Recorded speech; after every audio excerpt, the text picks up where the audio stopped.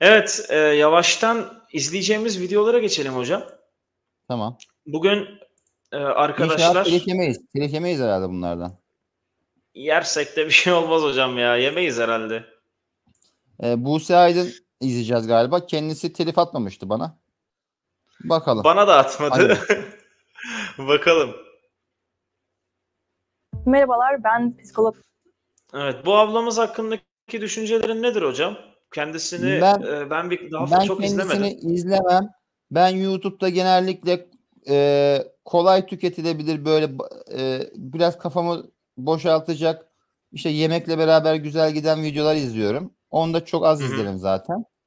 E, bu Anladım. ablamızı ben DYM videosunu merak ettim. Yorumladım benim ilgi alanım olduğu için ve uzmanlık alanım olduğu için. Oradan bilirim. E, hı. so- son derece yanlış bilgiler vermişti. Kendisini düzeltmiştim ben zaten. Diğer videolarını Anladım. bilmiyorum ama ama eee, nedir? İzleyelim görelim bakalım. Bakalım ne diyecek.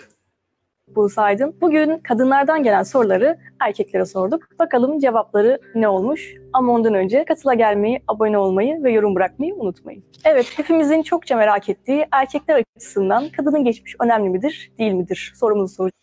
Bu kadın çok hızlı bir şekilde ünlü oldu değil mi hocam ya? Çok fırladı yani birden. Nasıl oldu bu? bir yıl falan e, sürede buraya geldi değil mi? Kadın olması, anal seksten Kadın bahsetmesi, kadın olup oral seksten bahsetmesi, ekran, ekrana Evet. gözleriyle gözlerini dört açıp kameraya bakıp azmak gibi cümleler kurması sence yeterli değil mi yani? doğru. Çok iyi açıkladın. Evet, evet doğru. Türkiye'nin yeni Ya nesil YouTube- Haydar YouTube Dümen'i. bir yer e, abi. Evet. Abi YouTube şey Evet. değil ki bilgi, yuva- bilgi yuvası bir yer değil ki. YouTube bir show business yani. Aynen, aynen. Özellikle seks hakkında konuşan bir kadın duyduğumuz zaman hepimiz izliyoruz değil mi? Evet, ya ben ya e, ya ben bile bazen şimdi geçen gün ben e, YouTube'da karşıma e, ben sporcu kızları severim. E, spor yapan kızın birine tıkladım title'ı. Abi her yer onlarla doldu. Ar- arada insan kendini tıklama zorunluluğu hissediyor yani. Evet, anlayabiliyorum ne demek istediğini. Bakalım erkekler ne demişler? Bakalım erkeklerimiz mağara adamı olmakla suçlanacaklar mı? Yoksa modern erkekler oldukları için Bak onlar tebrik edilecek. Hazırsanız sorumuzun cevabına Evet. geçelim. Başlar başlamaz utandırma yapıyor değil mi? Hocam ben bunun Başlar kadınlarla başlamaz ilgili bölümünü erkek, erkekleri erkekliğin tanımını yapıyor. Evet. Aynen. E, Şey kadınlarla ilgili yaptığı bölümünü izledim hocam bunun. Kadınlar var ya oradaki öf inanılmaz. Hepsi yok aldatırım. e, Bir daha olsa bir daha yapardım. Böyle bütün şeytanları toplamış oraya. Ben onunla ilgili bir reaksiyon yaptım. Onlara hiç şey dem- denmedi mesela. Mağara kadını ya da ne bileyim ilkel varlık. Hiç böyle laflar veya, söylenmedi veya mesela. işte slut denmedi değil mi? Aynen hiç öyle bir şey olmadı ama biz başlar başlamaz mağara adamı olduk yine.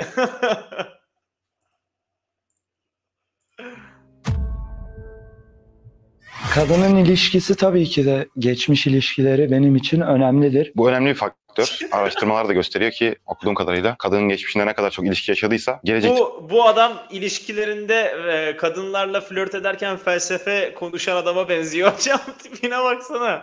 Aynen o değil mi? Ama söze hatalı başlamadık. Kadının her zaman geçmişine, erkeğin geleceğine bakılır. Aynen. Bakalım ne demiş. faktör. Araştırmalar da gösteriyor ki okuduğum kadarıyla kadının geçmişinde ne kadar çok ilişki yaşadıysa gelecekteki ilişkisi de o kadar sağlam oluyor ve bitmiyor o oranda. O yüzden bunlar Bu konuyla ilgili erkekler konusunda araştırmalar çok kafa karıştırıcı hocam. Bazı araştırmalar var diyorlar ki erkeğe hiç etki etmiyor. Bazı araştırmalar var diyor ki erkeğe de kadınınki kadar etki ediyor. Sen ne düşünüyorsun bu konuda? Sence erkeklerin cinsel geçmişi de aynı şekilde etkiliyor mu? E, Bir dikkatin dağıldı. Bir daha sorar mısın Nican Ses sen? Kadınların cinsel geçmişinin onların ilişki kurma, pair bonding kapabilitelerini etkilediğini biliyoruz değil mi? Etkiliyor, yüzde yüz duygusal bagajlarını etkiliyor. Aynen ne öyle. kadar genç Aynı şekilde daha az bulanıyor. Ve ben Evet. sana bir şey söyleyeyim. Ben bu konuyla alakalı bir video yapmıştım. Orada şu, şu argümanı öne sürüyorlar. Ama 40 yaşında bir erkek veya 30 yaşında bir erkek 20 yaşında kızla ne konuşacak? Ben de diyorum ki Abi 20 yaşında bir kızla 35 yaşında bir kızın duygusal zekası arasında olgunluk e, şeyi arasında çok da bir fark yok. Hepsi de çocuk gibi. Deyip deyip geçtim. Ben bunu fark ettim yani. Ee, e, kafası daha az karışmış olacaktır kızın.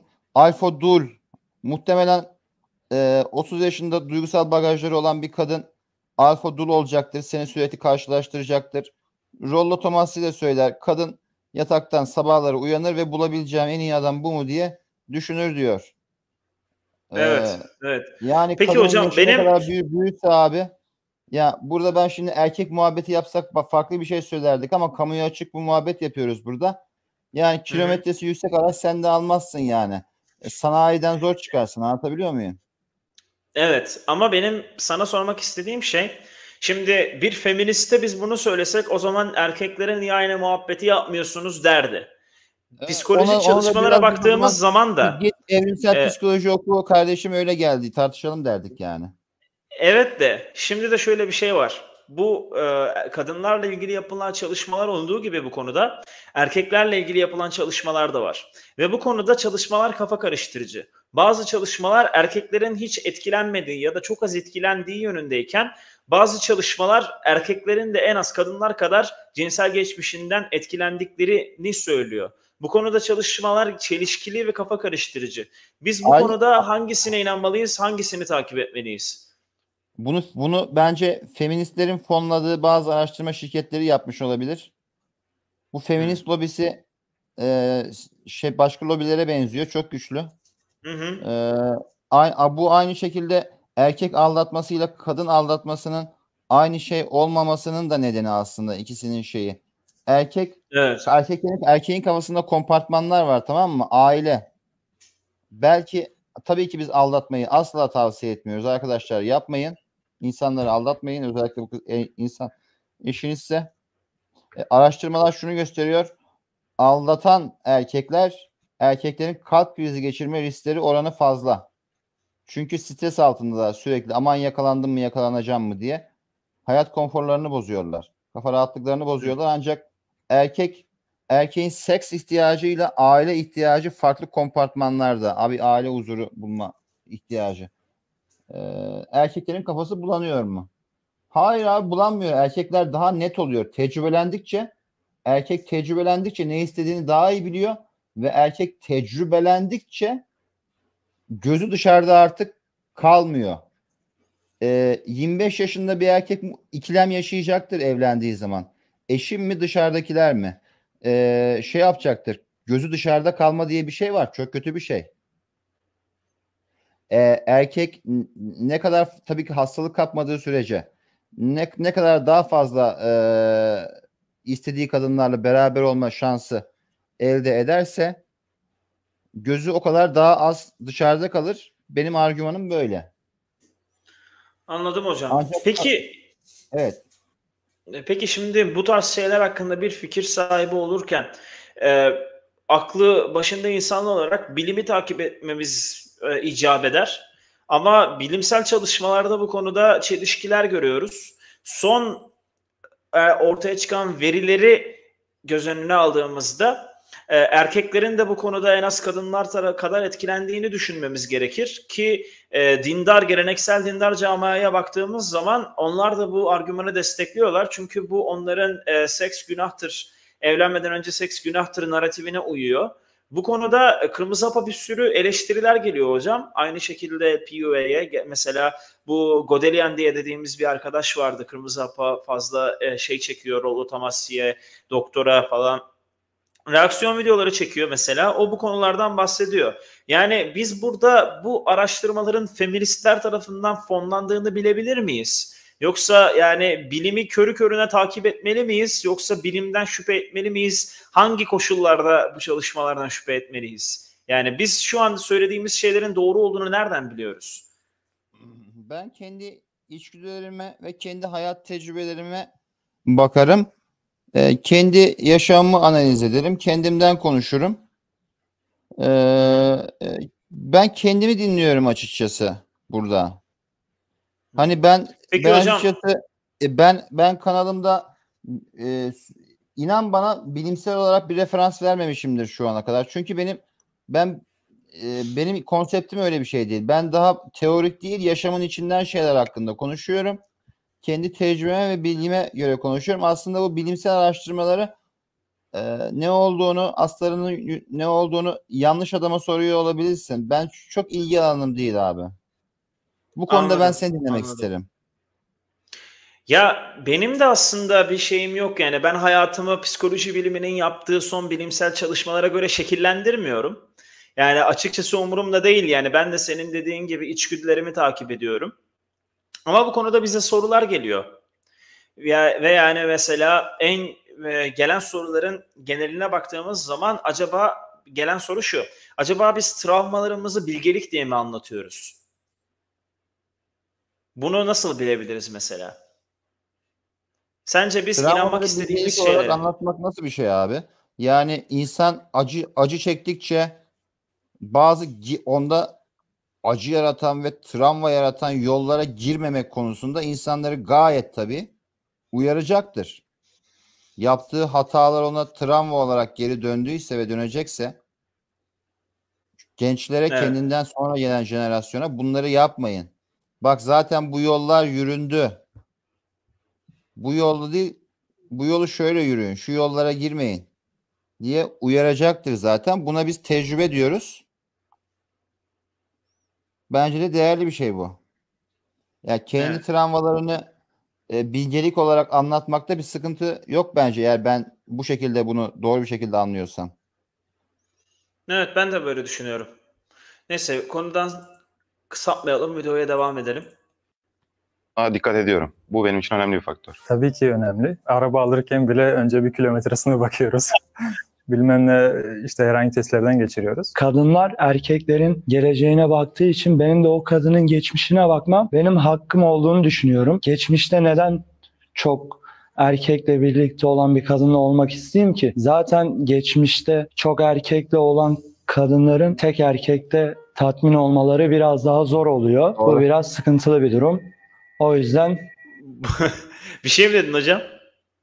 Doğru diyorum ya bu erkekler okumuş Evet. etmiş çocuklar. Bunlar herhangi herhangi insanları çıkartmamışlar burada Suat'tan geçen sanıyorum. Evet. Gençleri çıkartmamış. Evet. Evet öyle görünüyor. geçmiş önemli benim için. Evet geldik ikinci sorumuza. Erkeklere dedik ki kadın erkek eşitliği hakkında ne düşünüyorsunuz?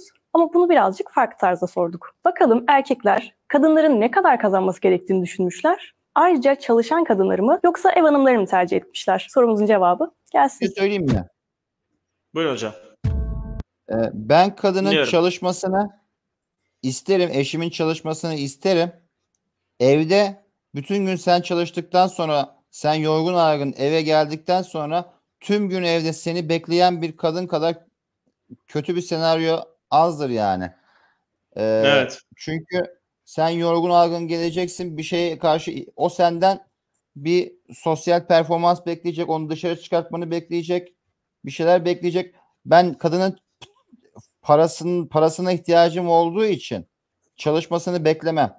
Evlilikleri bitiren şey abi sürekli göt götü olmaktır. Korona Evet. döneminde korona döneminde insanların birbirine sosyal mesafesi, kişisel mesafesi ortadan kalktığı için tamamıyla evlilikler daha çok boşanmaya döndü zaten. Bir Evet. insanların birbirini özlemesine ihtiyaç var. Evet. Sürekli Ama e, affedersin göt götü olduğun senaryo e, ayrılık getirir, boşanma getirir, çabuk sıkılma ge- getirir. Evet. sen diyorsun ki kadın çalıştığı zaman benden uzakta olacak, kendine ayrı bir hayatı olacak ve hep birbirimizle baş başa olmayacağız. Öylesi daha iyi diyorsun. Değil mi? Ya, öylesi daha iyi diyorum. Bu, o beni özleyecek, ben onu özleyeceğim. Tabii ki onun yoğun bir iş yapmasını, çok stresli bir iş yapmasını istemem. Zaten bu yüzden e, öğretmen dediğimiz işte öğretmenlik mesleğini icra eden e, kadın arkadaşlarımız o yüzden meslekleri gereği talep görüyorlar erkeklerden daha çok. Çünkü e, öğretmen dediğin erken işten ayrılır. E, işte haftanın ortasında boş günü vardır. Hafta sonları resmi tatilleri, yaz tatili, şu tatili, bu tatili vardır. Kadın için ideal bir çalışma sistemidir diye düşünüyorum. Ve kendilerine de Evet. yüksek talep var bu anlamda. Öğretmen kadınlara. Aynı zamanda aynı zamanda anaçlık gösterisi değil mi? Yani çocuklarla ilgilenmeleri. Öğretmen kadın anaç olur benim çocuğuma da iyi bakar düşüncesi de oluyor mudur? O açıdan düşünmedim. Ama daha çok bu e, dengeyi bulmakla alakalı. Bir beyaz yakalı kadınla, kadınla belki de evlilik evlilik e, şeyine girdiğin zaman kadın çamaşırları yıkamaya, yemeği yapmaya zaten yorgun geliyor. Nerede zaman bulacak? Yani bunun ideali bence öğretmen bir kadınla evlenmektir eğer bu açıdan bakacaksak. Bir denge yakalamak istiyorsak. Hem göt götü olmayalım hem de kadın çalışsın istiyorsak bunun ideali öğretmendir diye düşünüyorum ben. Evet. Kadın ve erkek eşit değildir. Eşit hangi anlamda eşit midir? Eşit yani nereden baktığınıza bağlı. Tabii ki de kadınla erkek eşit değildir. Ama şöyle, şimdi tabii ki yasalar karşısında, sosyal hayatta tabii ki de eşit olmaları gereklidir ve öylelerdir. Öyle de olmalıdır. Ama iş ilişkilere geldiği zaman tabii ki burada mantıktan çok işin içine duygular giriyor kadın erkek ilişkilerinde. Bunun aksini iddia eden varsa gece 3.30-4 sularında eve bir hırsız girdiğinde eline bir sopa alıp gitsin kovalasın o zaman. Bir takımda iki lider olmaz. Bu kural sabittir ve o lider de erkek olmalıdır. Herkesin Buraya hep böyle kırmızı haplı çocukları çıkarmışlar galiba ya. Fark ettim. Bana öyle Ya bir şey bu geldi. Değil mi? hal- halkın halkın Random, değil random. Meriç'i Bunlar- çıkarmamışlar. Evet. Bildiğin normal Meriç değil bu yani. Şu belki de belki de kadınlarda tepki tepki çıkart tepki ortaya çıkartmak, negatif duygu ortaya çıkartmak Evet. için Evet. e, bu çocukları seçtiler. Çünkü yoldan geçen çocuklar politik doğru olacaktır burada. Aynen. olacaktır. Hoşa giden şeyler Aynen. söyleyecektir. Burada kadınların duymak istemediği şeyleri söylenip bir e, şey tepki kasma durumu söz konusu. Evet. Evet. Evet. Zaten kadınlarla ilgili çektiği videosunda da hep böyle nerede e, şey kadın var, şeytan kadın var onları toplamışlar yani. Amaç sanırım burada şey senin de dediğin gibi gerçekten öfkeye mi atmak? Evet. Devam edelim. iyiliği için diye düşünüyorum. Eşit diyemem ama adalet olmalı bence aralarında. Çok güzel bir şey. Ee, eşitlik adalet değildir abi. Çok mantıklı bir şeye değindi. Değil mi? Ben de düşünüyorum yani eşit olduğumuz zaman adil olmuyoruz ki. Yani e, eşitliği değil adaleti gözetmeliyiz. Yani eee, şeyde fırsat eşitliğinde eşit olmalıyız. Mesela eğitim, işte sosyal haklar, şunlar bunlar eee, fırsat eşitliğinde eşit olmalıyız. Ancak konu ilişkilere gelince görev dağılımı vardır ve bu a- evlilikte klasik bir eee, geleneksel bir yapı olduğu için geleneksel rolleri ben benimserim. Geleneksel rollerin e, dışında davranan kişilerle de evlilik kurmam. O- Evet. onlar onlar tabii ki geleneksel rolleri edinmek, tercih etmek, üstlenmek zorunda değil kadınlar asla. E, şeyde evlilikte Evet. ama ben de onları tercih etmek zorunda değilim. Aynen öyle. Aynen öyle ama burada işte eşit olan her şey adil midir? Onu konuşmamız gerekiyor burada. Şimdi bana felsefi Yani sorular bazen- soruyorsun. Ee, eşit Bazen şey- eşit olan şey adil olmayabilir. Doğru. Doğru doğru. Yani bir balıkla bir maymun ağaca tırmanmaya çalışırsa eşit gibi bir eşittir değil mi bu? Ama adil değildir yani. Aynen öyle. Evet. Felsefi konular. Kadının maaşı ne kadar olmalı? İdeal olarak sıfır olmalı. Bence kadının maaşı olmamalı. Kadının maaşı herhangi bir miktar olabilir. Yani çok önemli değil. Hani sıfır da olmasa iyi olur. Çok yüksek olmasını da e, böyle beklentim de yok. Kadından Bunların paradan daha çok arkadaş daha beklediğim ya? daha öncelikli şeyler var. Efendim? Yüksek gelirli arkadaşlar bunlar. Kadının maaşı sıfır olsun diyorlar. Ya muhtemelen öyle evet. Ee, ya da a- anne baba parası var.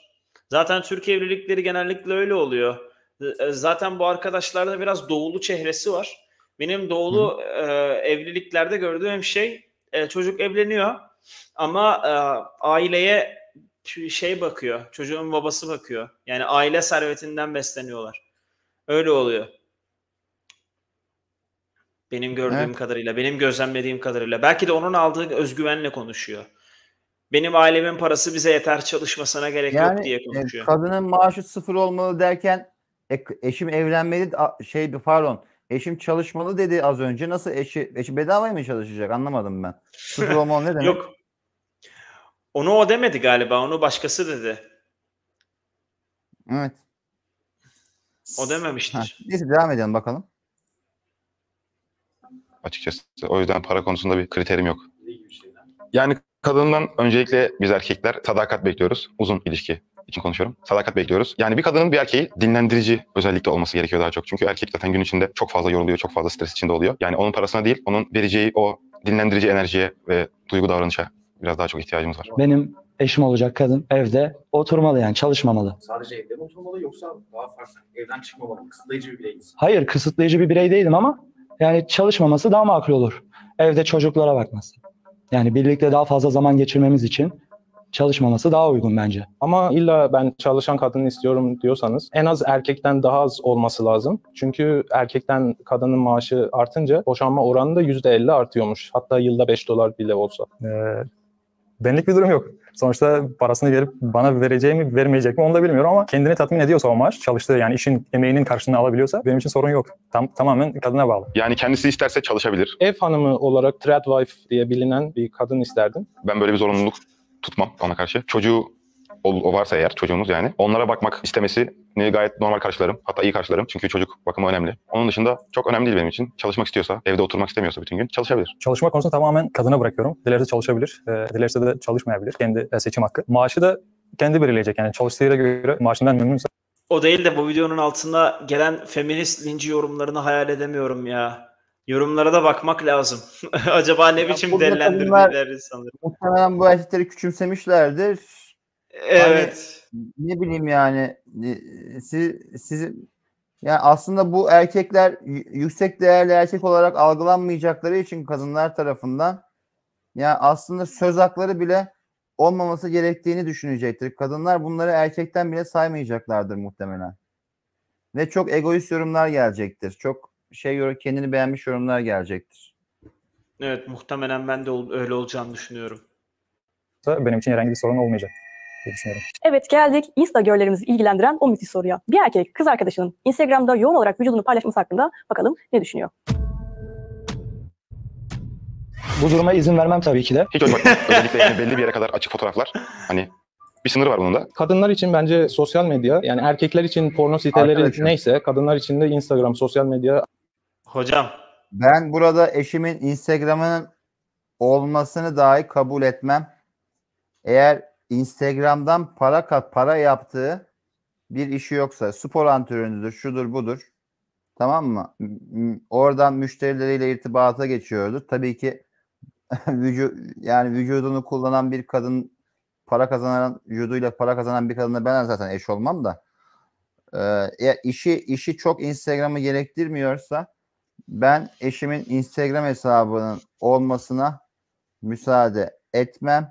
Zaten bu Müge Anlı'yı izlersen köyde, orada burada aldatmaların, e, çarpık ilişkilerin kökeninde işte eşim Instagram'da sosyal medyada şununla yazırmış, bununla yazışmış gibi hikayeler çıkıyor %90 zaten. Ben evlilik kurumumu böyle bir şeyle tehlikeye atmam. Eee, zaten ben kendim Instagram'la çok aram yok. Hem eşime iyilik yapmış olurum onu bu eee, odak dağıtıcı bataklıktan kurtar kurtarmış olurum diye düşünüyorum. YouTube izlesin. Peki hocam biz niye bu kadar karşıyız bu Instagram hesabına, fotoğraf paylaşmalara? çünkü- Özgüvensiz Kardeşim, miyiz biz? Yani Sana bir şey soracağım. Sana bir şey soracağım. Diyet Hı. yapıyor musun bazen? Yapıyorum evet. Diyet yaparken buzdolabında dondurma tutuyor musun? Hayır. Bir nedeni var bunun. Çünkü Yemem iradeni iradeni zorlar. Aynen. Abi kadınlarda da kadınlarda da irade var. İradeye sahip çıkma konusunda onlar da zorluk yaşıyor. Şimdi orada senin iradeni zorlayacak farklı bir takım erkekler şunlar bunlar söz konusuysa buna gerek var mı yani diyet yaparken e, buzdolabında dondurma tutmanın bir manası var mı abi? Farklı Şey yaklaştım yani? ama ne dediğimi anladın Ee, sen. anladım, anladım. Yani Lamborghini'nin bile olsa bunun o konuda bir niyeti yoksa bile neden onu Ha. davetiye çıkartalım yani? Anlatabiliyor muyum? Gerek var mı? Evet. Evet. Şey gibi bu. E, Lamborghini'nin bile olsa, anahtarı bende de olsa, kilitlenmiş olsa ve milletin açamayacağını bilsem bile göçmen mahallesine bırakıp terk etmem arabayı. Muhabbeti E, gibi. doğru kesinlikle. Kesinlikle. Ha bunun da iş, ben sokakta DM yaparken Instagram kullanmayan çok fazla kıza denk geldim. Ee, e, Instagram'ından kopamayan kız da bana gelmesin abi kapatmak zorunda değil Instagram'ını. Evet. Tamam mı? Veya kullanmamak zorunda değil ama ben de onu seçmek zorunda değilim. Evet. Kadının kafasını Çerçeve- bulandıran bir şey Instagram.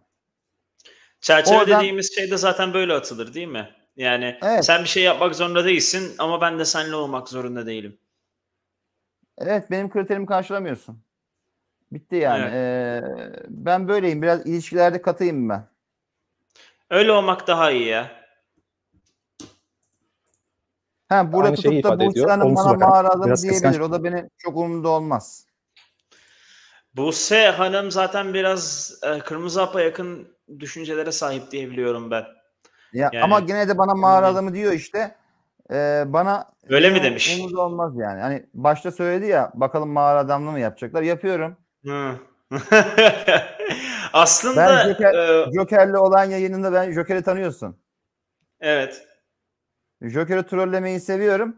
Orada Hı. diyorum ki Secret'ın sen ünlü sözünü duymadın mı diyorum. Evlilik diyorum erkeğin kadını modern mağarasına aldığı bir ritüeldir diyorum. Tamam mı? Joker deliriyor Evet. falan. Oğlum diyor ne mağarası diyor. Sonra ben buna buldum böyle mağaradan bozma oteller yapmışlar. Buyur abi al ispatı diye attım fotoğrafları. Hı. evet.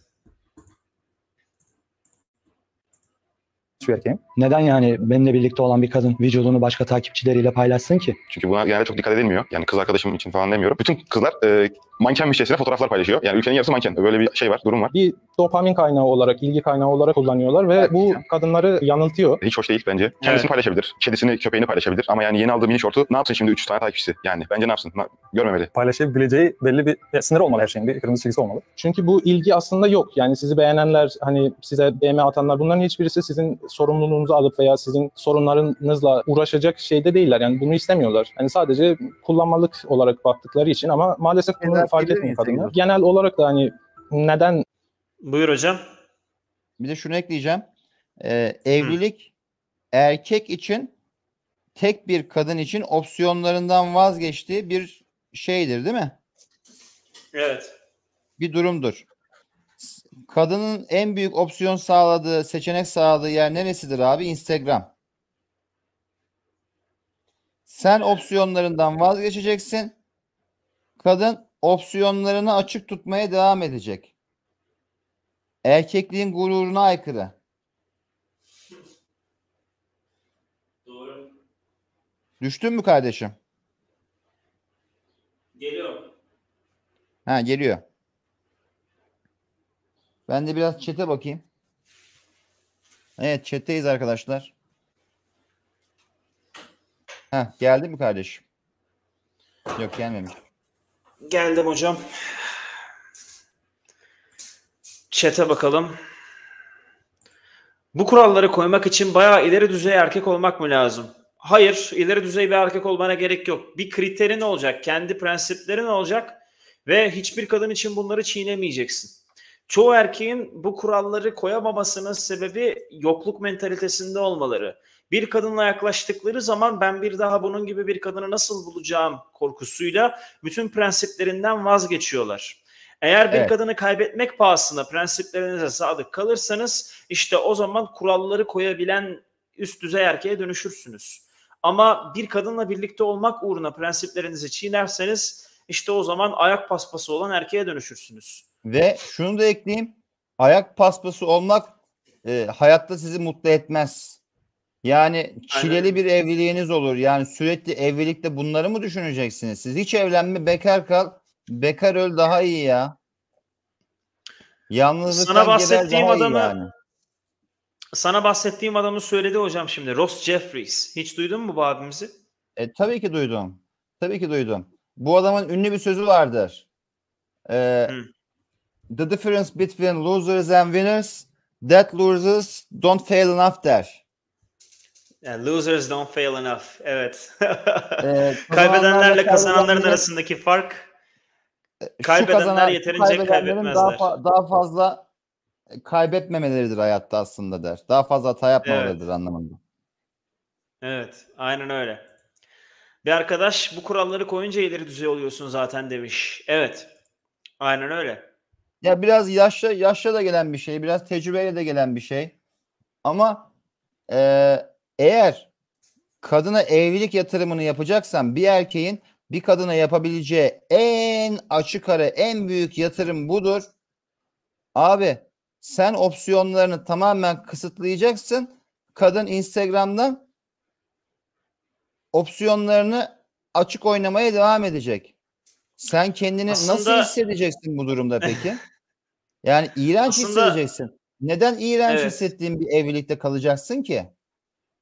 Evet. Mutlu etmez bu seni.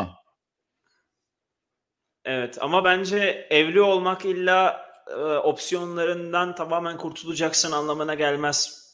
Yani sosyal bir hayatın olduğu zaman, tanınırlığın olduğu zaman, çevren olduğu zaman zaten e, covert bir şekilde seçeneklerinin olduğunu da gösterirsin. Ki zaten Rollo Tomassi de böyle der. Yani başarılı ilişkiler, evlilikler için şey der ya e, Women don't like a man to cheat but they love a man who could cheat diye bir lafı var ya.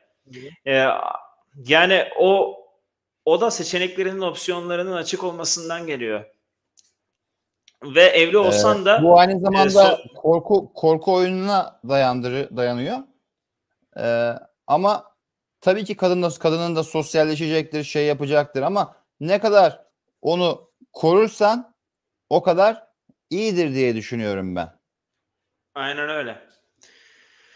Aynen öyle. Devam edelim. Şimdi tamam evli olmadan ya da ilişkide olmadan hani bekar birilerinin sosyal medyayı hani kendisini bir yere kadar paylaşmakta hani tanışma vesaire gibi bir şeylerde kullansa okey de bundan sonra madem ilişkidesin hala neyin arayışı gibi e, düşünüyorum. Bana atabilir. E, hayır demem tabii özelden. Onun dışında çok e, halka açık olmasını desteklemiyorum. Peki hiç aldattılar mı ya da aldatıldılar mı? Peki erkekten kadın arkadaş olur mu? Bakalım ne düşünmüşler.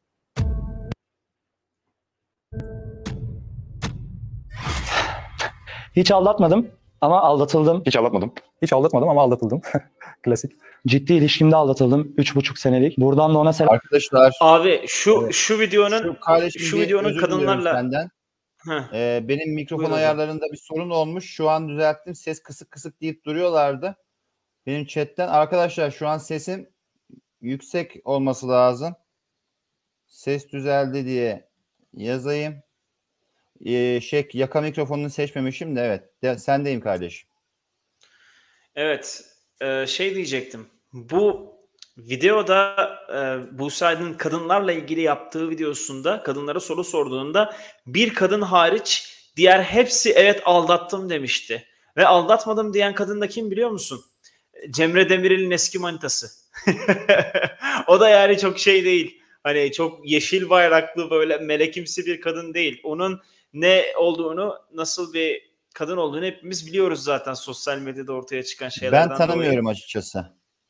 Ee, bu arada Ya- kardeşim ben ya sen de şimdi canlı yayın yapıyoruz ya. Biraz aceleye Hı. geldi. Bütün mikrofon ayarlarını her şeyi yanlış ya- yarım yamalak seçmişim. O bir Hı hı. saattir yaka mikrofonu takıyorum. Meğerse bilgisayardan alıyormuş sesi. Neyse bu Hmm. yayında böyle olsun. Kusura bakmayın arkadaşlar. Ee, e, şey idare edeceksiniz artık bu yayınlık. Bir dahakine düzeltiriz. Ben sesini gayet iyi duydum hocam. Ara sıra kesiliyordu sadece. O kadar bir sıkıntı yoktu yani. Laptoptan alıyor sesi yani. Yaka mikrofonu çok daha kaliteli ama yaka mikrofondan almıyor şu an. Evet. Sendeyiz Anladım. kardeşim. Cemre Demirel'i tanımıyorum. Anladım. selam gönderiyorum. İyi ki de yapmışsın böyle bir şeyi de. Senin gerçek yüzünü gördüm. Yani şerefsiz. Aldatıldığım konusunda bazı söylentiler var eski bir ilişkimde. Ama hala kesin bir şey yok. Dua etsinler de öğrenmeyeyim demiş. Yok. e, bir kere aldatıldığım hakkında bir söylenti duydum. Çünkü bir ilişkim bittikten bir hafta sonra karşı taraf yeni bir ilişki yapmış. Hani bu kadar hızlı olamaz. Çok zor. Ben yapamıyorum. O da yapmamalı. O yüzden onun benleyken de mı bir devamı, e, bir eskiden gelme bir hali. Evet arkadaşlar. Kadınlar genellikle sizden ayrılacağı zaman ayrılmadan önce mutlaka ya yedeğini hazırlamışlardır ya da yedeğini hızlı bir şekilde bulabileceklerine inanıyorlardır. Kadınlar bir dalı tutmadan diğer dalı bırakmazlar. Bunu Kırmızı Hap'ta çok anlatıyoruz. Aynı buradaki kardeşimizin de söylediği gibi böyle milyonlarca anı vardır. Her erkek mutlaka size böyle bir anısını anlatacaktır yani. Ayrılıyor, bir hafta sonra yeni bir erkekle sevgili oluyor. Belki de o çocukla iki aynı anda idare ediyordu yani olabilir. Sen ne diyorsun hocam? E, kesinlikle doğru. Ben de onu söyleyecektim. Ee, Evet. Yani bir maymun nasıl bir dalı bırakınca yere düşerse kadınlar da bir dalı tutup sonra diğerini bırakırlar. Evet. Tabii bunun evrimsel sebepleri var böyle olmasının. Çünkü e, kadının hayatta kalması için erkeğe ihtiyacı olmuş milyonlarca yıl boyunca. Bundan ötürü erkeksiz olmak, yalnız kalmak kadında kadın için doğada ölüm demek olduğundan bir erkekle birlikte olmak istiyorlar ve o konuda güvence istiyorlar yani. Sebebi kısaca bu. Evet. E, var gibiydi. Allah da belasını versin eğer böyle bir şey varsa. Gerçekten çok hiç hoş bir durum değil. Ben yapmadım. Ha, yapma fırsatım oldu mu? Oldu. Yapasım var mıydı? Vardı ama yapmadım. Yapmak ister miyim hala? Sen bana niye soruyorsun ki? Sen bana niye soruyorsun? Ben soruyorum soruyu. Ne fark eder? Yapmayacağım. Ee, önce ayrılırım.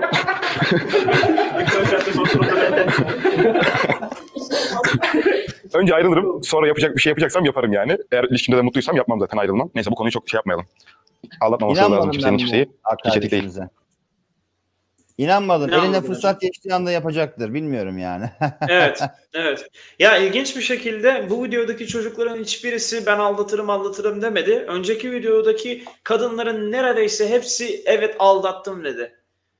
Bu gerçekten çok ilginç. Abi bu ve arada- bir tesadüf olamaz. Ya bu arada yani bu kadınlar nasıl bu kadar aç, bu konuda e, internet önünde ben avlattım diyebilecek e, açık sözlere kavuşuyorlar. Yani bu kadar mı bu artık meşrulaştı bu aldatma yani?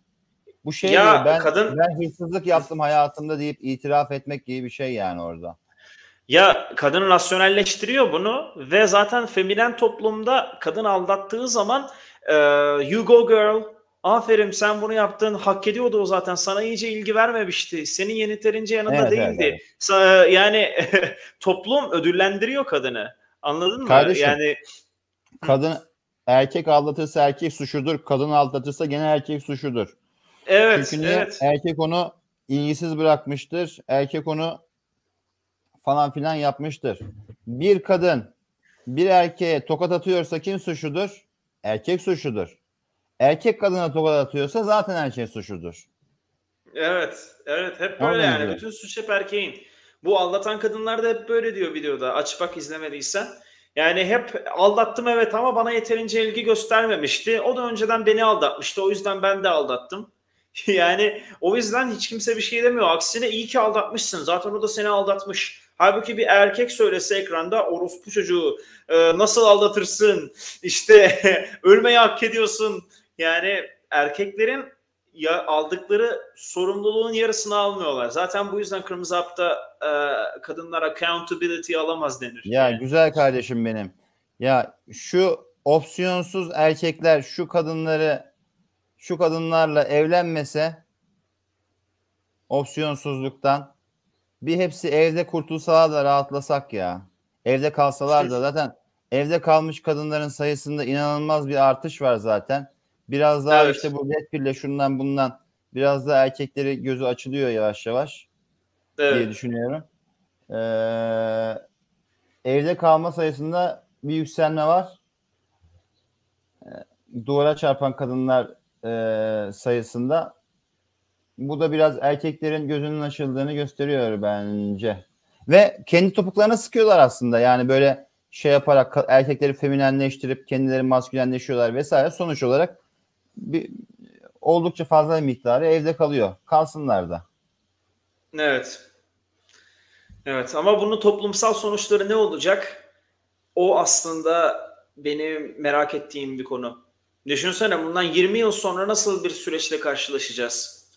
Yani kadınların, kadın nüfusunun %30'unun bekar olduğu bir toplumda yaşadığımızı düşünsene. 50 yaşı üzerinde ve bekar kadınların yüksek olduğu bir toplumu düşünsene. Ya vallahi Ne kardeşim olurdu? e, ben benim de her zaman Çok derim ben ben değiştirebileceğim şeylere odaklanırım. Ben bireysel kurtuluşumun peşindeyim ve çevremde bana inanan sevgili takipçilerim işte kendi çekirdek ailem, ailemi e, umursarım. E, yeri, yeri gelince işte benden sonrası tufan e, moduna da gir, girerim yani. Tabii ki gönül ister ki iyi olsun ama bu, bu sistemi ben yaratmadım yani. Aynen öyle.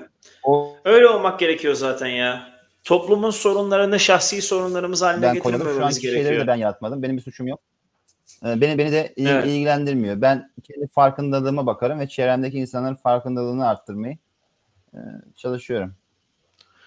Bu arkadaşımız da şey demiş. Ceceli karısının aldattığını ispatladı diye itin götüne soktular. Karıya laf yok ama. Gör, görüyorsunuz arkadaşlar bunun örnekleri her yerde. Yani kadınların suçlarından da erkekler sorumludur. Erkeklerin suçlarından zaten her türlü erkekler sorumludur. Toplumumuz maalesef böyle. Hiç aldatmadım çünkü benim için verdiğim sözler çok önemli. Hatta yani içkili olsam bile verdiğim sözleri tutmaya önem veriyorum. yere söz olarak bakıyorum. Yere bakayım. Bir daha Hiç ağlatmadım. Ağlatmaması lazım bakayım. kimsenin kimseyi. Hiç etik değil. Hiç aldatmadım çünkü benim için verdiğim sözler çok önemli. Hatta yani içkili olsam bile verdiğim sözleri tutmaya önem Aslında veriyorum. biliyor musun? erkeklerin Ee, evet buyur. Ben sana bir şey söyleyeyim. Ben kitabımda yazmıştım. Çirkin kadın ahlakı diye bir şey var kardeşim. Duydun mu? Çirkin kadın ahlakı. Duymadım. Nasıl bir şey? Bazı insan zorunluluktan a- al- aldatamaz. Hmm. şeyden aldatamadığı için aldatmamakla aldatabilir olduğu pozisyonda aldatmamak arasında çok büyük fark vardır. Çirkin Evet. bir kadın ahlaklı olmakla övünebilir cinsel anlamda. Ancak belki de ona hallenen erkek yoktur çok çirkin olduğu için. Bu kadın için aldatmamak kolaydır yani. Aynen. Aynen Ya öyle. bu erkeklerin de ben çoğunun şu an gözlemlediğim kadarıyla çok fazla öyle aldatabilecek, çapkınlık yapabilecek kapasitelerinin olduğunu düşünmedim. Evet. Ya bir de böyle e, cinsel olarak sadık olmayı erkekler böyle bir e, onur nişanesiymiş gibi üzerlerinde taşıyorlar. Her seferinde böyle videolarda asla aldatmam. Benim için sadakat çok önemlidir. Ben sözümü onurum gibi beklerim, üzerimde taşırım. Ama kadınların böyle söylemleri olduğunu göremiyoruz mesela. Genellikle kadınlar e, aldattım, bir daha yaparım. E, o da beni aldatmıştı diye takılıyorlar. Nasıl benim olsa çok- hıyarın biri beni kabul edecektir opsiyonsuz şeyin biri ona kapağı atarım Aynen falan öyle. düşünüyor. Kafayı yemişler ya. Bu burada bana ş- e, şeyi dönüş e, düşündürüyor. E, Rollo Tomassi der ya, kadın merkezli toplumlarda erkeklerin erkekliği kadınsı önceliklere en iyi şekilde hizmet edecek açıdan yeniden tanımlanır diye. Burada da bunu görüyoruz. Erkeklerin cinsel anlamda sadık olmayı bir onur nişanesi gibi taşırken kadınların bu konuda o kadar da önemsememesi aslında bence bunun mükemmel kanıtlarından bir tanesi. Doğru doğru. Kadınlar doğru, e, doğru değil mi? doğru. Evet. ilişkiye de bir söz olarak bakıyorum. Ayrıca e, hani bir kadına yalan söyleyip onunla birlikte olmak yani kendime çok saygısızlık olarak görüyorum. Çocukken diyebilirim aldatıldım. Onlar da e, benim için bir önemi yok. Benim tercihim yani kadınlara yalan söylemeden etik, şerefsizlik. Yani maalesef kadınla erkek arkadaş olamaz. Bunu diyen kadınlar da tamamen ilgi bağımlısı kadınlardır bence. Yarısı var bu sorunun. Ee, anısı var pardon. Yarısı da var ama. Kadınla erkek arkadaş olabilir. Çünkü arkadaşlarım var benim de. Yani arkadaşlık şeffaf olmalı. Gizli saklı bir şeyler varsa zaten orada bir sıkıntı vardır. Bir, bir erkek arkadaşının yanına gidip şöyle bir bacağına dokunsun. Ya ben çok mutsuzum desin bakayım. O arkadaş ona nasıl bir yaklaşımda bulunuyor? Yalan konu. şey diyecekti diyemedi. Akşam gelsene eve beni bir e, pom- pompala diyecekti diyemedi. Uygun bir şekilde anlattı. Ben bunu şey gibi e, düşünüyorum. Ee, kadınlar yani uydu erkekleri arkadaş yapıyor. Doğru mu? ya e, hem evet hem hayır. yedek, kulü- yürü- yedek kulübesinde her an oyuna sokmak için bekletiyorlar. O adamlarda Evet. bekleyen betalar olduğu için Rollo Tomassi de bahseder. Beklemedeki Hı hı. betalar sırasını bekliyorlar. Ayrı, ayrıldıktan sonra o kadının. Ee, Evet, Ben e- erkeğin kızlarla arkadaş olmasını ise şöyle bekletiyorum. Ee, abi buzluğunda balık saklar mısın abi? Arada çözdürüp yer misin? Yok. Veya buzluğunda şey. sakladığın herhangi bir şeyi arada çözdürüp yiyoruz değil mi? Ben buzlukta Hı. balık saklıyorum mesela.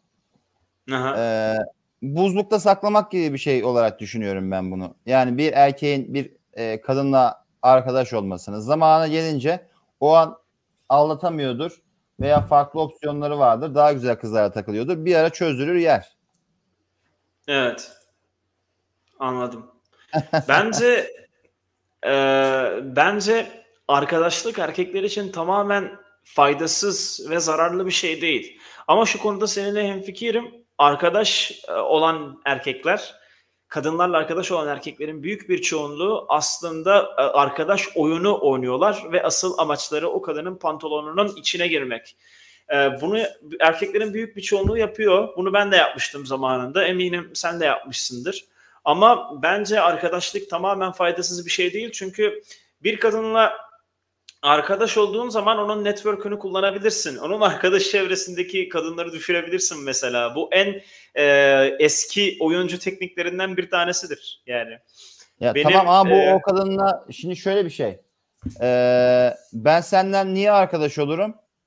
Senin e, senden ya e, şey yapmak için değil yani senin dost dost dostluktan bahsedelim buradan.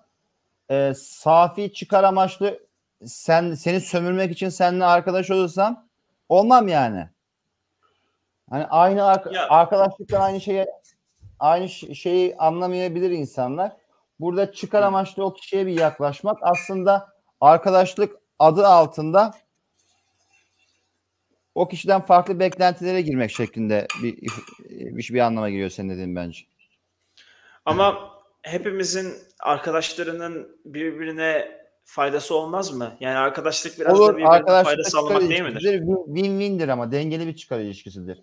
Birinin şeyi çok çıkarı çok ağır basıyorsa o sömürü e, tarzı bir şeydir. Evet, Evet ben öyle düşünüyorum. doğru. Konuşursa ne bileyim bir- zaten sezersiniz yani hissedersiniz ilişkisi nasıl gidiyor yine arkadaşlar. Çevresi nasıl işte gecenin bir saatinde yazıyor mu dışarı çıkıyor mu buluşuyor mu ona bağlı biraz da yani kendini gö- gösteriyor belli ediyor. Arkadaş olabilir tabii ki de. Kadınlar arkadaş zaten yapmayı bilmiyor. annesi Çünkü giydirmiş. genelde ya, e, bu arkadaşları nerede duracağını bilmiyor. Annesi mi giydirmiş? Bir önceki arkadaşı annesi giydirmiş zaten. Hangisiydi o? Dur. O arkadaş Bu arkadaşı mı? Yok sonra giy- ona nasıl bir yaklaşımda bulunuyor? Yalan konuşursa. Bunu mu? Ha bu bu. Annesi. Kardeşim Ee, İçine giydiği siyah şey yakışmamış evet. Yani beyazı tutsa daha iyi olurdu. Hoş, hoş durmamış. Ama annesi giydirmiş gibi mi duruyor? Bilemedim. Beyazla kot pantolon kombinasyonu fena değil bence. Ha. Beğenmedin mi? Okey. ne bileyim zaten sezersiniz yani hissedersiniz ilişkisi nasıl gidiyor yine arkadaşlar. Çevresi nasıl işte gecenin bir saatinde yazıyor mu dışarı çıkıyor mu buluşuyor mu ona bağlı biraz da yani kendini gö- gösteriyor belli ediyor. Arkadaş olabilir tabii ki de. Kadınlar arkadaş yapmayı bilmiyor. Çünkü genelde ya, e, bu arkadaşları nerede duracağını bilmiyor. Ne kadar samimiyet kuracağını bilmiyor. Sınırlarını bilmiyor. Bu sınırları biz gösteriyoruz. Ama onlar da gözleri bağlı bir şekilde sınır falan göremiyorlar. O zaman da biz çok kıskanç oluyoruz maalesef. Zaten kıskancız ama ekstra da bir çaba var kıskanalım diye. Sanki öyle bir durum var. Ve erkeğin yanlış bazı hamleleri bizim erkeklerin anlayabildiği bazı şeyler olduğu zaman biz bunu görüyoruz erkekler olarak. Ama kadınlar bunları göremiyor. O yüzden bizim gözlerimize e, güvenmeleri lazım. Fazla düşünmesinler. Bize güvensinler. Soruyu da cevaplamış olayım. Kadın erkek arkadaş olabilir tabii ki. Ama bizim yaşlarımızda böyle bir dönemde bir kadın bir erkek ne kadar arkadaş olabiliyor? Biraz hmm, çelişkili bir soru. Kadın ve erkek arkadaş olabiliyor ama kadın erkek arkadaşlıklarında genellikle mutlaka bir süreden sonra bir taraf diğerinden hoşlanmaya başlıyor. Ya kadın erkekten hoşlanmaya başlıyor ya erkek kadından hoşlanmaya başlıyor. Erkeğin e, kadından hoşlandığı durum elbette iyi bir değil, iyi bir durum değil arkadaşlık konusunda. Ama kadının erkekten hoşlandığı durumda o kadın o friend zone'da yıllarca bekliyor yani benim gözlemlediğim kadarıyla. Ve çok da bir sorun olmuyor. Sen ne düşünüyorsun? Hiç arkadaşının senden hoşlandığı oldu mu hocam? Benim ondan hoşlandığım olmuştur, onun benden hoşlandığı olmuştur. Ateşle boru sonuçta. Aynen. Aynen. Erkeklere dedik ki nasıl kadınlardan hoşlanırsınız ve kadınların ilk nerelerine ya da neresine bakarsınız? Bakalım erkekler dürüst cevap verebilmişler mi?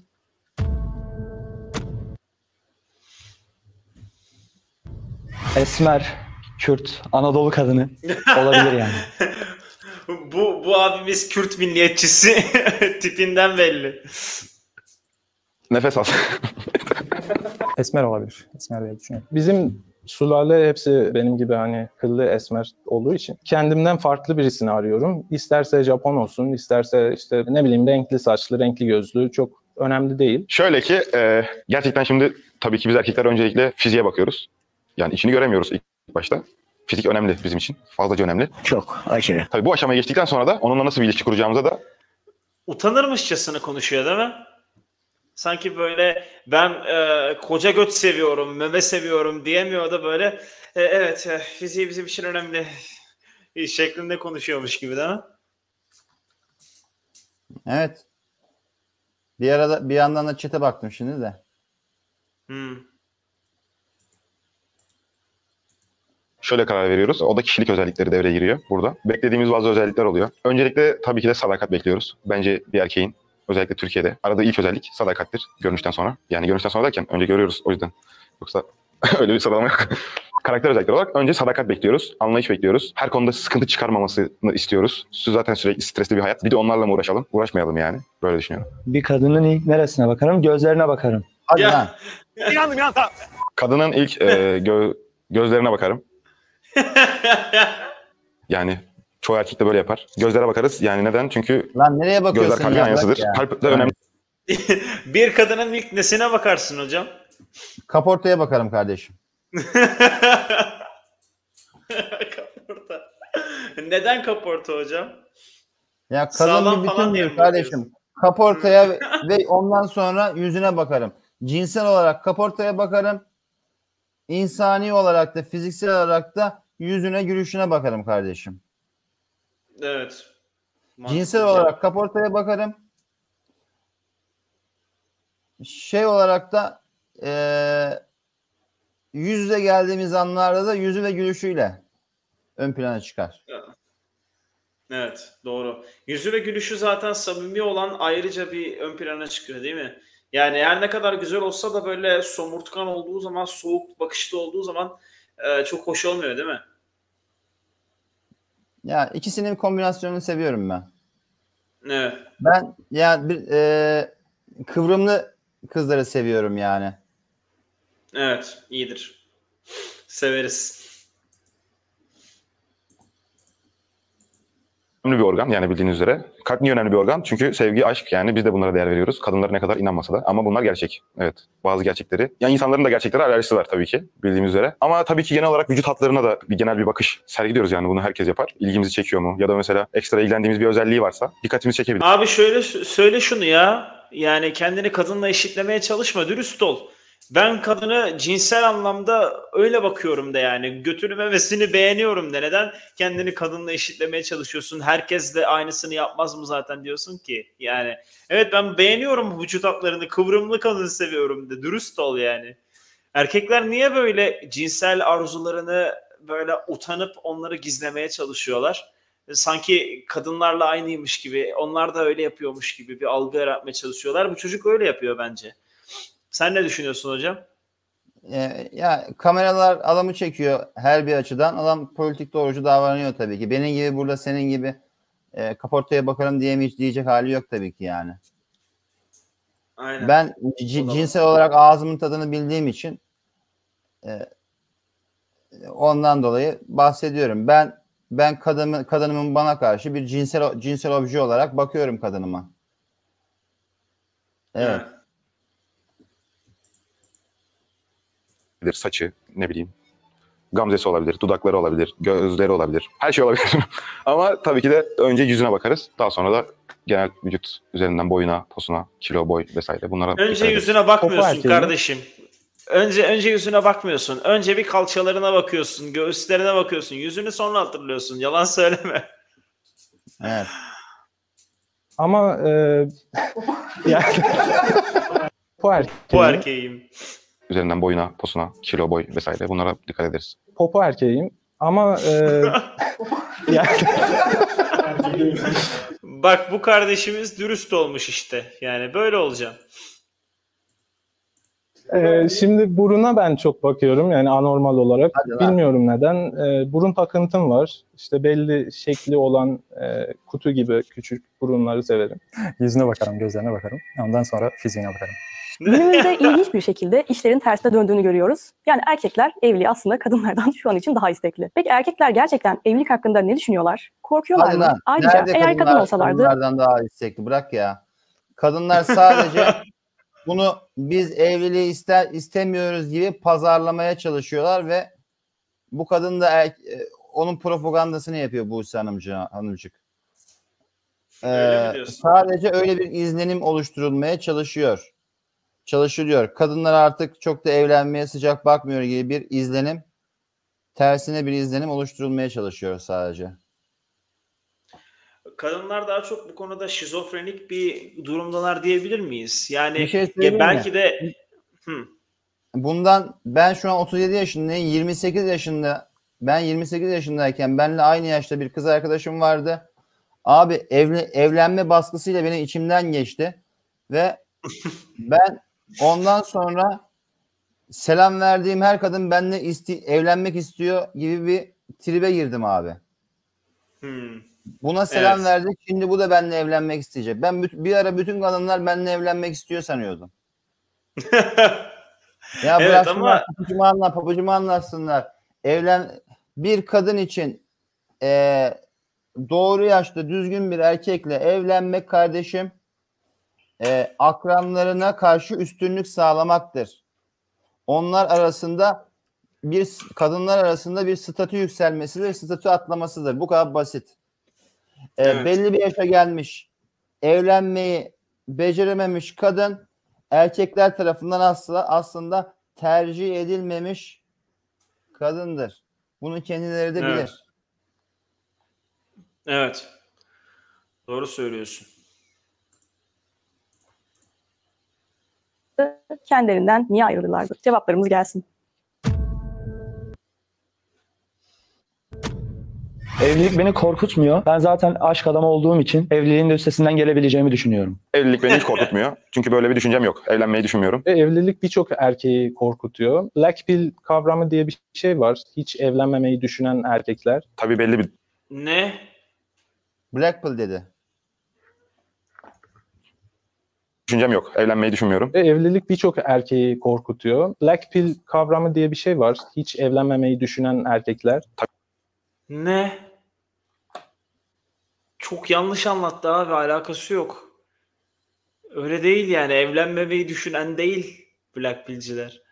Ya evlenemeyen ya da sevgili süre- bulamayan.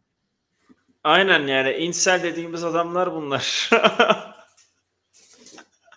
Öyle değil yani. Ee, evlenmemeyi düşünen sanki is- evlenebiliyor, ulaşabiliyor ama evlenmeyi düşünmüyor dermişçesine. Hayır. Adam ulaşamıyor o yüzden öyle diyor kendisi de. Gece kadar. Erken yaşta evlenmeye, sözlenmeye, nişan, düğün, kına bunların hepsine karşıyım. Tabii e, erkek olarak önce kendimi hazır hissetmem gerekiyor ama. Yani evliliğe hazır mıyım? Geçindirebilecek miyim? Gibi gibi soruları önce bir kendim kendi içimde çözmeliyim. Ondan sonra hazır olduğum zaman evlilik teklifi edebiliyorum yani edebilirim diye düşünüyorum. Bence birçoğu evlilikte açılan sorunlardan veya yasalardan, dünya üzeri yasalardan kaynaklanan bir şey. Bu dönemde her nerede olursanız olun, yani birkaç işte ülke hariç, Afganistan, İran vesaire hariç, evlilik sözleşmesi yapmadan evlenenleri çok cesur buluyorum. Ve erkeklerde genelde hani hem sorumluluk şeyi var hem de bu korku olduğunu düşünüyorum. Ama bir erkek olarak hem aileme işte atalarıma borcumu ödemek zorunda hissediyorum. Hayatın anlamını mutluluk olmadığını ve aslında sorumluluk olduğunu düşündüğüm için evlenmeyi kesinlikle düşünüyorum. Önce bir statü kasmak gerektiğine inanıyorum. Para. Yani önce para işini halletmek lazım. Sonra para işini bir de halletmek lazım. Para çok önemli yani. Daha sonra evlilik düşünülebilir ileriki yaşlarda. 30 belki. Belki biraz daha ileride bilmiyorum. Paranın önemi neden bu kadar abartılıyor abi sence? Ben Herkes eee, böyle para para para diye çıldırmaya başladı. Bu abi e, para, toplumdaki parayı bu para kazanma evet ama son zamanlarda bu konudaki stresin toplumda genel olarak arttığını özellikle Abi erkek camiasında gidiyor. İnsanlar kendilerini tehdit altında hissediyorlar. Ee, Evet. Aile geçindirmek de kolay bir şey değil. Ee, Evet. Eş seçiminde de para ve statü olarak yükseldiğin zaman daha iyi bir eşe sahip olabiliyorsun. Daha güzel bir eşe sahip olabiliyorsun. Ee, Rollo Tomassi'nin dediği gibi 35 yaşında erkek aşağı yukarı pik yapıyor. Zirve cinsel pazar değerini buluyor. Bir erkeğin potansiyelini gerçekleştirdiğini hissetmeden bu e, ekonomik ekonomi de bunun önemli bir parçasıdır para kazanmak. Erkeğin cinsel pazar değerinde potansiyelini tam zirveye e, çıkarma açısından. E, yani erkek cinsel pazar değerinde parasal olarak da zirveye çıkacak ki daha iyi bir eş adayı bulsun. Kadın için de e, bu 23 yaştır. Güzelliği güzelliğiyle alakalıdır cinsel pazar değeri. Yani 35 yaşındaki bir kadınla pardon özür diliyorum 35 yaşındaki bir erkekle 23-24 yaşındaki bir kadın ikisi de cinsel pazar değerlerinin zirvesinde olacağı için denk olacaklardır diye düşünüyorum ben. Bu erkekler aslında para diyerekten kendi cinsel pazarların zirvesine çıkmaktan bahsediyorlar yani. Peki hocam sen bir PUA koçu olarak paranın kadınlarla tanışma ve kadınlarla başarılı olmak konusundaki önemi tam olarak nerede olduğunu düşünüyorsun? Ee, şöyle bir şey. O para belli bir yaştan sonra önem kazanıyor. Ben ilk tanışmalarda pa- paramı kullanmıyorum. Kullanmaya da ihtiyacım yok. Ancak daha sonraki kadınla ilişkinin ilerleyen süreçlerinde belli bir konfor sunmak için, belli bir esneklik sağlamak için hem kendi mutluluğumu tayin etmek hem de kadının mutluluğunu tayin etmek için maddiyat önemlidir. Bunu düşünüyorum ben.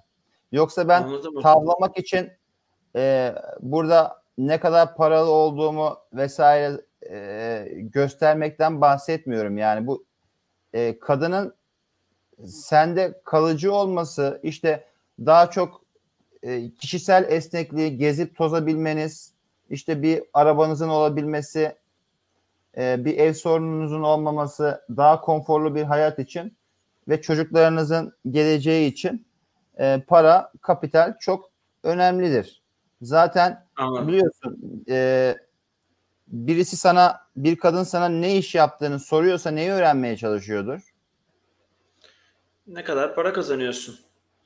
aslında ortalama olarak ne kadar para kazandığını öğrenmeye çalışıyordur yani. Kadınlar sana ne iş yaptığını sorarlar. Senin ne iş yaptığınla ilgilenmezler aslında. Dolaylı, dolaylı olarak açıp banka hesabına bakamayacakları için e, ya da bodruna bakamayacakları için ağzından o maaş bilgisini öyle alırlar yani.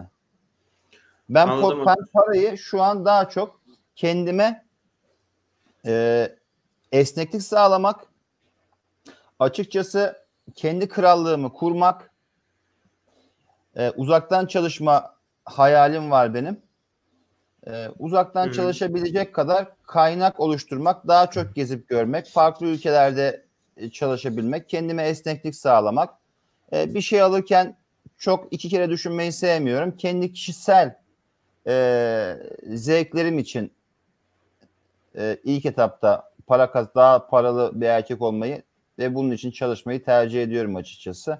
Bu da tabii ki ileri ileriki e, dönemde e, bir ev bir aile kuracağım dönemde bana oldukça kolaylık ve esneklik sağlayacaktır. Bugün parasızlık yüzünden yüzünden evlenemeyen çok fazla erkek var. Anladım. Peki Aynı zamanda e, para bir kazanan erkek değer de üreten erkektir. Benim inandığım bir söz var. Bunu Richard Cooper söylüyor.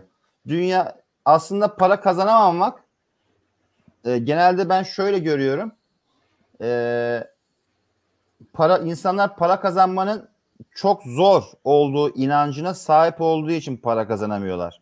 Aslında değer ürettiğin noktada sende bir beceri, bilgi, tecrübe olduğu noktada dünyada onu senden almaya gönüllü binlerce binlerce binlerce insan bulabiliyorsun internet sayesinde.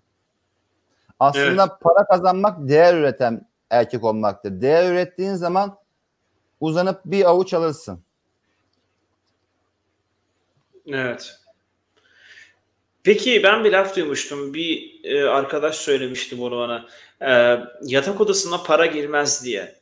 Bu sence ne kadar doğru? Paranın e, baştan çıkarma sürecinde herhangi bir etkisi var mı? Hiç mi etkisi yok? Yoksa Abi bazı amaç, konularda amaç, amaç motomot seksse tutkulu seksten bahsetmiyorsak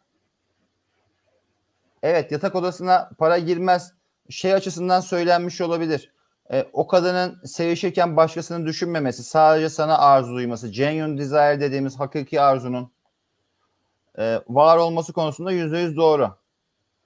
Ancak e, aslında e, normal kadınlar e, orospuluk mesleğini, dünyanın en eski mesleğini icra eden kadınlara seksi ucuza sattıkları için kızarlar. Bunu biliyorsundur herhalde. Aslında seks en çok evlilikte pahalıya gelecektir. Eğer seks Evet. açısından bakarsan. Ya bu durumda bu dediğin sana ne kadar tutarlı geliyor? Yani iş evliliğe döndüğü zaman erkeğin evlilikteki sorumlulukları ve karısına yapması gereken, sağlaması gereken şeyler bir erkeğin eskortu ödediği paradan çok daha pahalı olacaktır. Yani bunu söylemeye çalışıyorsun değil mi? Yani evet kadınlar kime aşık olacaklarını e, kime aşık olacaklarını seçebilecek kadar akıllılardır kardeşim. Hı. Evet. Okey. Çok ilgi verdiğim için ayrılırdım ya galiba. Evet. Çok ilgili bir bireyim. Çok konuşkan olmadığım için yani çok sessiz biri olduğum için ayrıldım. Opsiyonsuz Eğlenceli olmadığım için yani çünkü sürekli iletişim kurmanız Evet. gerekiyor, sürekli konuşmak ihtiyacı konuşma ihtiyacı duyuyorsunuz karşınızdakiyle yani ilişkide olduğunuz kişiyle. Muhtemelen bunun az olduğu için Lan bu adamın yani kaç tane sevgilisi olmuş ben merak ayrılıyorum. ettim ya. Tabii şöyle Çok Sen bu çocuğu ama- sevmedin. Abi konuştukları, konuştuklarının altı boş. Sadece söylemesi gerektiği söylüyor ya. Ee, Sen bayağı sevmedin bu çocuğu. olmuş? bir, bir iki tane bir iki tane olmuşsa iyi yani. Ben öyle böyle yorumladım kendisine. Anladım. Ee, Bütün bunların içerisindeki en çok iyi çocuk görünümüne sahip adam bu galiba değil mi? Baksana surata. Ya iyi çocuk, iyi çocuk ve AFC. evet, bayağı bildiğim average frustrated chump şeyi var Ben yani. en çok şu çocuğu sevdim. Bundan sonraki çocuğu sevdim en çok. Bunun az olduğu için yani çok konuşmadığım için belki ayrılabilirim. Muhtemelen mühendis tabii şöyle bir biraz şey e, kıskanç, biraz da baskıcı bir insanımdır. Efendim hocam? Muhtemelen mühendis gibi bir iş yapıyor bu çocuk. Evet, öyle bir surat var kendisinde. Ya e, en do en Zaman zaman- sevdiğim bu oldu. Evet. Evet. Ama tabii ki de evet bu yüzden ayrılabilirdim. Çünkü aynı zamanda kendim de özgürlükçü bir insanım. Ama durduk yere de kimseyi baskılamıyorum. Yani durduk yere niye insanlarla uğraşayım? Kız arkadaşımla vesaire. Kimse kimseyle uğraşmam. Ben kendi halimdeyimdir. Bir baskı varsa o baskı olmalıdır yani büyük ihtimal. Durduk yere kimsenin üstüne gitmem diye düşünüyorum. çok inatçı olduğum için olabilir ve bazı şeyler benim için çok e, siyah beyaz. Yani gri yoktur. Bundan ayrılabilirdim. Onun dışında bir şey düşünemiyorum şu an ama bir sebep buluyorlar yani. Evet soruları dinledik. Hangi erkek size daha yakın geldi? Hangi erkeğin cevaplarını hiç beğenmediniz? Aşağı belirtmeyi unutmayın. Katıla gelin, abone olun, yorum yapmayı unutmayın. Aslında demek Dinlediğiniz istiyor ki teşekkür ederim. demek Hmm. istiyor ki hangi erkeği daha çok linç edeceksiniz? Evet. Yorumlara bir bakalım mı hocam seninle şimdi? Bakalım. bakalım bakalım nasıl linçlemişler. İkinci adamın Twitter'da e, yiyeceği linci hayal edemiyorum. Ya şu şu bizim Hangi adamı? yayınımızı izleseler Buse e, Sayın Buse hocamızın kanalında Hmm, nasıl, nasıl linçlerler? evet. İkinci adam dediği hangisi? Bu bu. Bu, Bu abimiz mi? Evet. yok mühendis Bu evet, mühendis bu- ha, ha, bu olabilir doğrudur. Bu en çok linci yiyecek kardeşimiz bu sanırım bence de. Ben de öyle hayal ediyorum. Kadın videosunda kadınlar maaş mevzusuna rakam verdiler. Erkekler ise rakam vermeden ya çok önemli değil ya benimkini geçmesin dediler. Kadın refahı erkekse hükmetmeyi ister demiş. Evet. gerçekten dediği gibi kadınların olduğu videoda kadınlar maaş mevzusunda rakam verdiler. Erkeklerse o kadar da önemli değil. Benimkini geçmesin yeter dediler. Erkek olarak gurur duydum. Bu erkeklerle aldatmamışlar, aldatılmışlar. Her erkek gibi üzüntü, keder çekmişler. İnsanlar istemedikleri cevapları duyunca kudurmaya başlamış. Okey aşağıda kuduranlar var herhalde. Ben kadın yorumu okumak istiyorum. Tamam kadınlara Buraya hep erkekler dolmuş. Aynen. Videodaki arkadaş o kadar aydın, açık, güçlü, eğitim seviyesi yüksek ki dayanamadım. Ya geç, geç. Kadın yorumları nerede kardeşim? Nazıl Hügül. Yorumlarda mağaradan çıkmışlar veya kolpa atıyorlar diyen erkekler aldatılınca ağlamayın lütfen. Kardeşim bugün mağaradan çıkmış en ünlü sanatçımız kimdir? Ve Kimdir pek abi? çok kadınla beraber olmuş bir kişidir de aynısı. İbrahim Tatlıses in bir sözü vardır. Ben Magara'da doğdum der. Adam gerçekten Magara'da mağaradan doğdum, evet. Abi kendi de söylüyor.